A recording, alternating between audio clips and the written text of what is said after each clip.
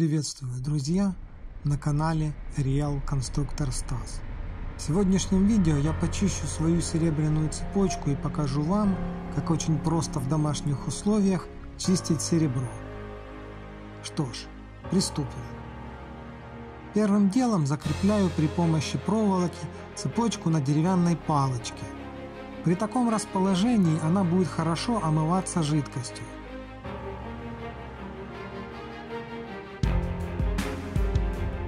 Далее беру стеклянную банку и помещаю внутрь вдоль стенок фольгу из пищевого алюминия.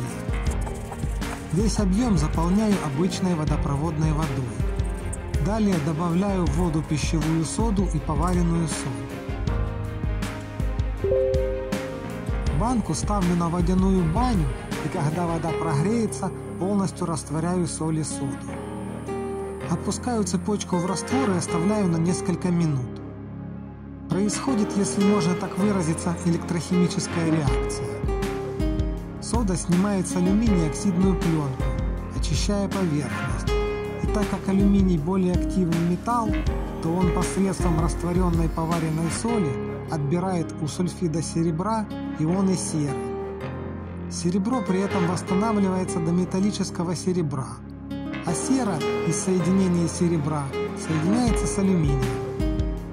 Далее эта соль распадается, и при чистке сильных потемнений серебра можно даже ощутить легкий запах тухлых яиц.